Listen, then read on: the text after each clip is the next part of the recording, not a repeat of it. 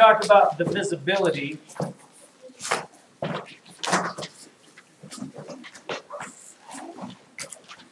uh, what we're talking about is how do you know if a number can be divided by another number evenly without a remainder?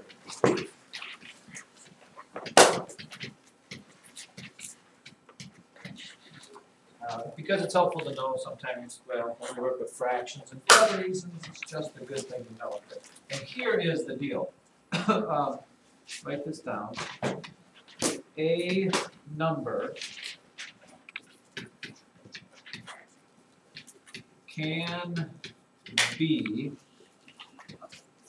divided by, there. List a bunch of numbers here, not a lot, just a few. A number can be divided by two. How do you know if a number can be divided by two? It's a simple little rule. All numbers that are what can be evenly divided by two or cut in half.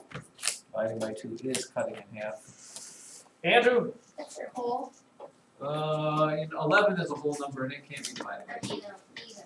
An even number, yes, yes, yes, and more yes. You can divide any number by two if it is even. Any even number can be divided by two. Any number can be divided by three if what? Anybody know? This one I wouldn't expect to know unless we did it last year, which I don't remember. Nobody? Sammy? Maggie? Six or nine. If it ends with a six or a nine, or if it has a six or nine, or what? Good, we'll learn something new today. Uh, you can divide a number by three if, write this down because we'll talk about this many more times, if what's called the sum of its digits, the sum of its digits is divisible by 3.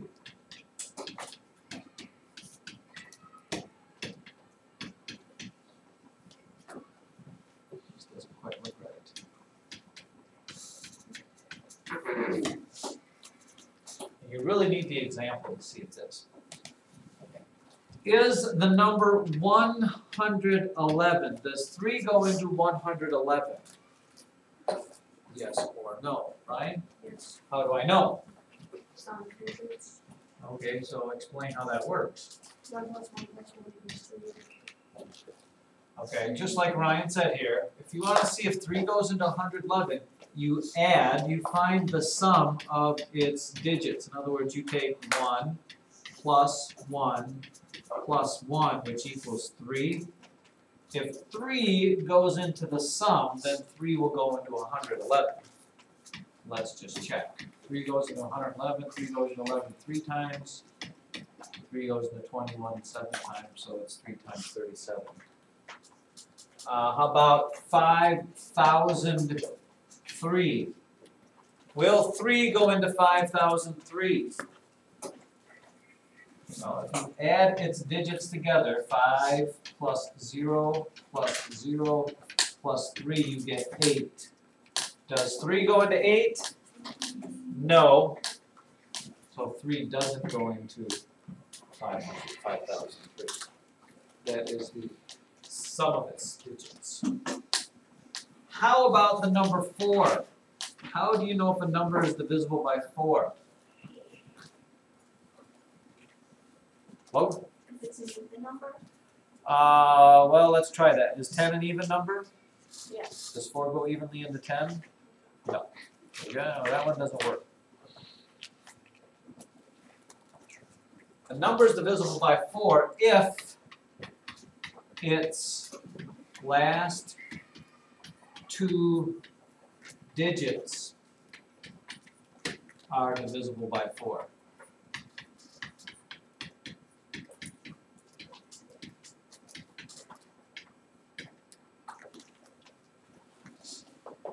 In other words, this, eight hundred twenty, does four go into eight hundred twenty? Yes. because you just need to look at its last two digits, because that's a twenty. Four goes into twenty, so four will go into eight hundred twenty.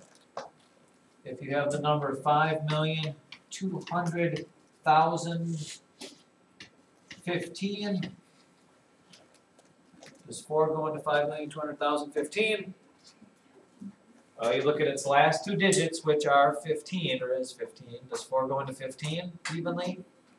No, so four will not go into this number. Last two digits, six hundred, six hundred twelve. Four goes into twelve, so four will go into six hundred twelve. No problem. What if it's, it's just like one number?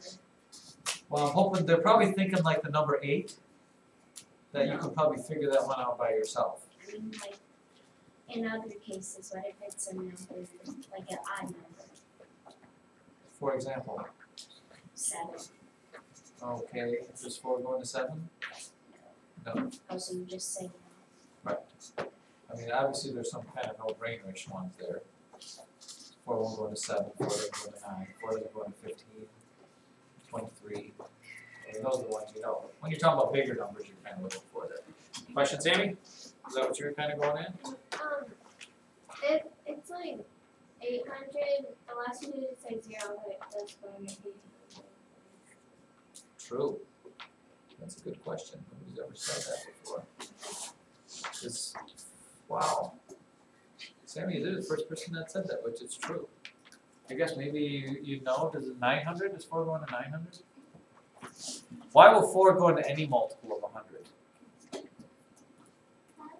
I said, why will 4 go into any multiple of 100? 100, 200, 300, 400, 500, 600, 700. Why will four go into any number that ends with two zeros?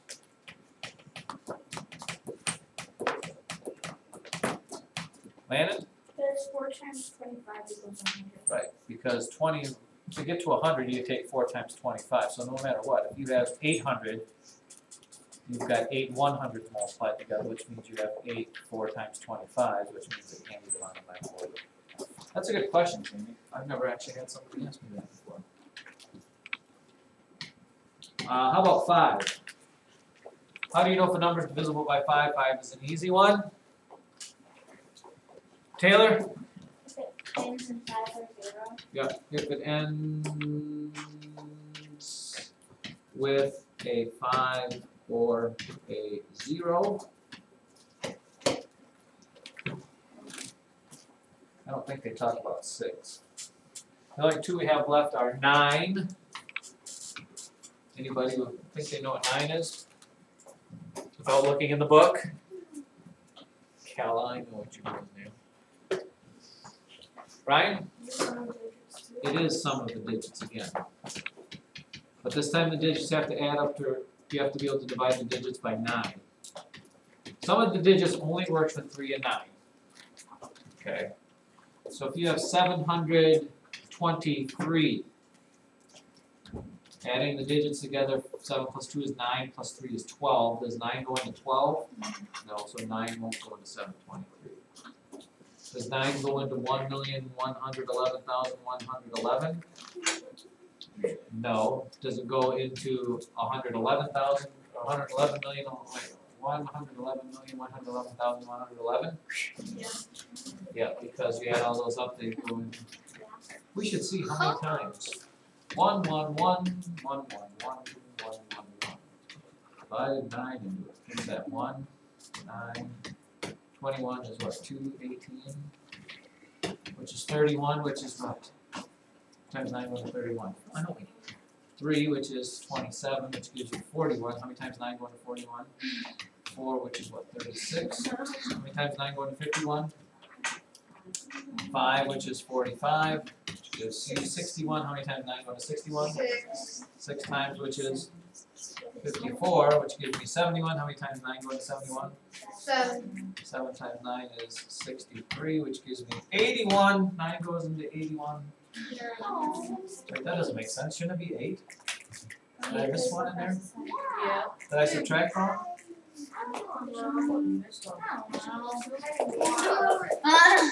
Let's do it again.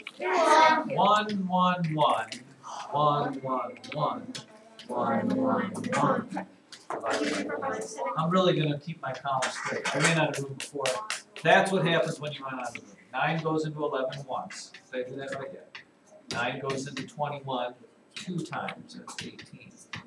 9 goes into 31 three times. That's 27. 9 goes into 41 four times, which is thirty-six. Nine goes into fifty-one five times, which is forty-five. Nine goes into sixty-one six times, which is fifty-four. Nine goes into seventy-one seven times, which is sixty-three. Nine goes into eighty-one nine times. I would think the pattern repeats, but it doesn't. One, two, three, four, five, six, seven, nine. Oh, sorry. Uh, rules of divisibility, and the last one, this one's like a no-brainer, ten. Ten goes into every number that ends with a zero. Ends with a zero.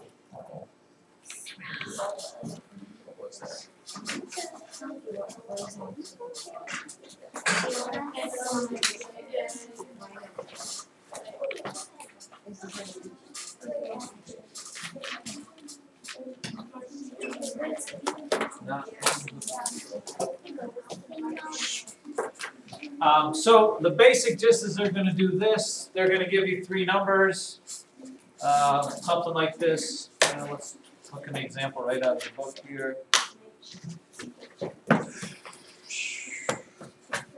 One, two, three, four, two, three, four, five, three, four, five, six, and they'll say circle the one that's divisible by three. So you really just gotta do it till you get one that's divisible by three. Which one is the one that's divisible by three?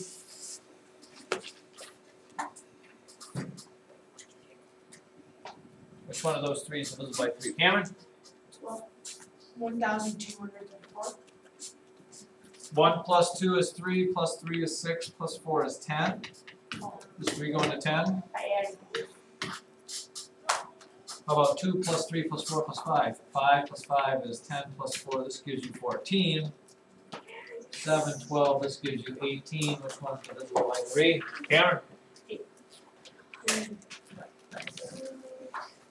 So you can see.